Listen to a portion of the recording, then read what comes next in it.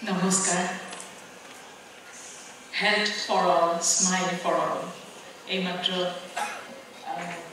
দীনেশ দাই সকলোকে খুব সুন্দৰকৈ কৈ থৈ গ'ল আৰু হাঁহিৰ যিটো কথা ক'লে সঁচাকৈ হাঁহি থাকিব পৰাটোৱে বৰ ডাঙৰ কথা।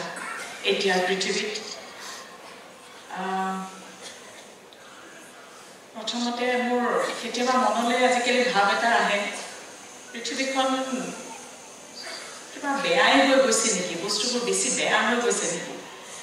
কিন্তু যেতিয়া কিছুমান পৰিৱেশলৈ যাওঁ আজি যেনেকৈ ইয়ালৈ আহিলোঁ এইটো যেতিয়া পৰিৱেশ এই ইমান ধুনীয়া পৰিৱেশ এটা দেখিছোঁ তেতিয়া আকৌ তাৰ ওলোটা ভাৱটো আহে যে নহয় পৃথিৱীখনত ইমান সুন্দৰ সুন্দৰ কাম হৈ আছে ইমান সুন্দৰ ব্যক্তিসকল আছে সেইকাৰণে বোধহয় আমাৰ পৃথিৱীখন পৃথিৱীখনৰ সকলোৱে অকণমান হ'লেও হাঁহিবলৈ সুবিধা পাইছে।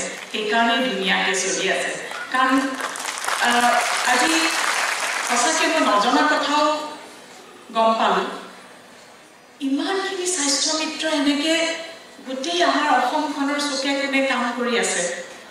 ভাগ্য বোধহয় মোৰ দৰে বহুতেই নাজানে এই কথাটো। আৰু আজি আপোনালোকক দেখি মোৰ সঁচাকৈ মন ভৰি গৈছে।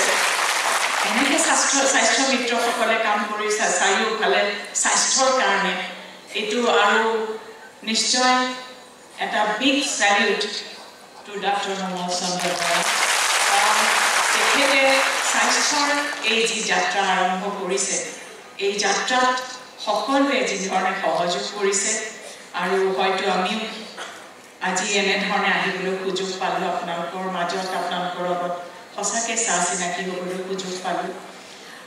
সেইকাৰণেই মই তেখেতলৈ আৰু সকলোলৈকে জি এন আৰ চি সকলোলৈকে মই আন্তৰিক কৃতজ্ঞতা জনাইছোঁ। আৰু ডাক্তৰ নৱনীল বৰুৱা তেখেতক আমি আচলতে সদায় আমি মই ডাক্তৰতকৈ মোৰ অকণমান শিল্পী শিল্পী বেছি যেন লাগে তেখেতক। কাৰণ তেখেত আমাৰ মাজত তেখেতৰ যিখিনি গঠনমূলক তেখেতে আলোচনা তেখেতে গঠনমূলক আৰু খুব স্পষ্ট মোৰ সেইটো খুব ভাল লগা দিশ এটা তেখেত খুব স্পষ্টভাৱে কয় যিটো শুদ্ধ আৰু মই মোৰ সন্মুখতে বহি আছে। মই স্কুলতে পাইছিলোঁ জয়াশ্ৰী ডাক্তৰ জয়াশ্ৰী। গতিকে জয়শ্ৰী বৰা মোৰ বান্ধৱীৰ দৰে মোক সঁচাকৈ খুব ভাল লাগিছে আজি দেখি। আৰু অকণমান আগতে মোক কাণে কাণে ক'লে খুব ভাল কাম এটাৰ কাম আহিছে দদৰা গৈছিলে। যিটো হাড়গিলাল সংৰক্ষণ চলি আছে সেই অনুষ্ঠানলৈ গৈ পেলাই মাত্ৰ আহিছে। গতিকে পৃথিৱীখনত আচলতে খুব ভাল ভাল কাম হৈ আছে আৰু সেইকাৰণে বোধহয় পৃথিৱীখন এনেধৰণে আগবাঢ়ি গৈ আছে।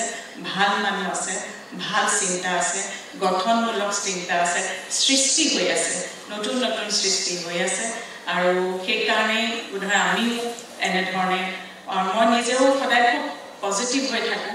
কিবা এটা কাম ভাল কাম এটা কৰিবলৈ সদায় মনটোত অনবৰতে ভিতৰত কিবা কিবি ঘূৰি থাকে। সকলো সময়তে কৰিবলৈ সুযোগ নাপাওঁ কিন্তু নাপালেও মোৰ অনবৰতে মূৰত কিবা এটাই কৰোঁ কিবা এটা কৰোঁ এই বয়সতো সেই অনবৰতে সেই ভাৱটো থাকে কিবা এটা সমাজখনৰ কাৰণে কৰোঁ। আৰু আপোনালোকৰ আশীৰ্বাদত সকলোৱে মৰমেৰে সৈতে অকণমান আগবাঢ়ি গৈ আছোঁ যিখিনি পাৰোঁ কৰিছোঁ।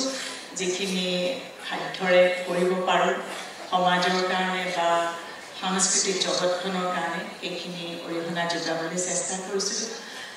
বাকী আৰু বেছি সময় নলওঁ।